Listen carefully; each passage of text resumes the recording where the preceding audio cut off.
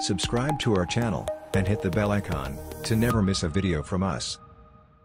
Hi, welcome to Splunk Enterprise Certified Admin Study Guide.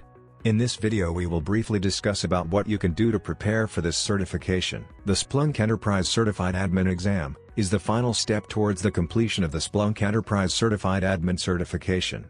This exam evaluates a candidate's knowledge and skills to manage various components of Splunk on a daily basis, including the health of the Splunk installation. Splunk Enterprise Certified Admin is a required prerequisite to the Splunk Enterprise Certified Architect and Splunk Certified Developer certification tracks. A Splunk Enterprise Certified Admin manages various components of Splunk Enterprise on a daily basis, including license management, indexers and search heads, configuration, monitoring, and getting data into Splunk. This certification demonstrates an individual's ability to support the day-to-day administration and health of a Splunk Enterprise environment.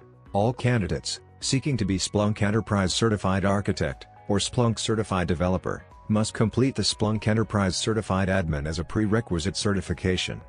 The Splunk Enterprise Certified Admin exam is the final step towards the completion of the Splunk Enterprise Certified Admin certification. This upper-level certification exam is a 57-minute, 56-question assessment. Candidates can expect an additional 3 minutes to review the exam agreement, for a total seat time of 60 minutes. It is recommended that candidates for this certification complete the lecture, hands-on labs, and quizzes, that are part of the Splunk Enterprise System Administration, and Splunk Enterprise Data Administration courses, in order to be prepared for the certification exam. The Splunk Enterprise Certified Admin is divided into the following fields. You will find the complete tutorial for all topics in the link provided in the video description. Preparatory Guide for Splunk Enterprise Certified Admin Step 1. Official Website the official site offers a lot of good information and resources, which are very helpful in preparing for the exam.